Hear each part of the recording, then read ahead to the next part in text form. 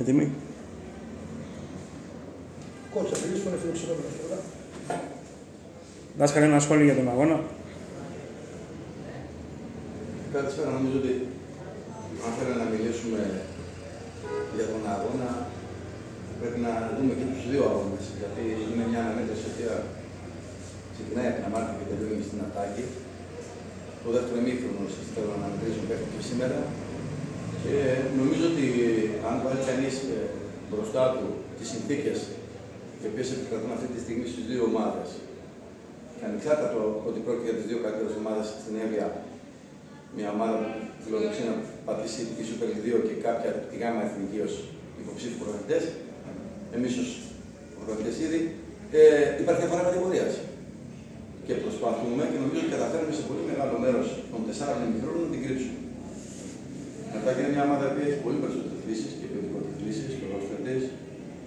Αυτό δεν νομίζω ότι έχει κάποια αμφιβολία. Αλλά στο κομμάτι καθαρά της αγωνιστικής δραστηριότητας είμαι περήφανος για την προσπάθεια που έγινε στο γήπεδο, γιατί θεωρώ ότι σήμερα σπαταλήσαμε τρεις ευκαιρίες στα ανοιχτά μέτρα στη μετάβαση που θα μπορούσαν όχι να μας δώσουν λίγη καλά την πρόκληση, αλλά να μας δώσουν μεγαλύτερο προδόκιμο στην προσπάθεια για την πρόκληση.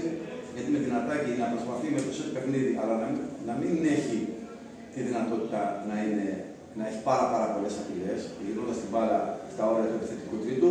Εάν σκοράραμε μια δεύτερη φορά, θα προβληματίσαμε περισσότερο τον άλλο.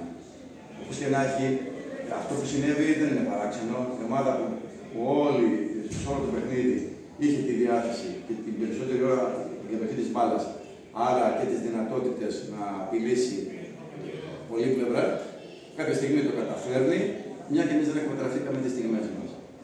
Νομίζω ότι για μας ήταν ένα θετικό crash test αυτοπεποίθησης στο τι πάει να γίνει από εδώ και πέρα. Για τον λόγο ότι ο ΑΟΝΑ είναι μια ομάδα κατά τη δική μου άποψη, η οποία είναι πάνω από το επίπεδο των ομάδων που θα αντιμετωπίσουμε στα μπαράζ.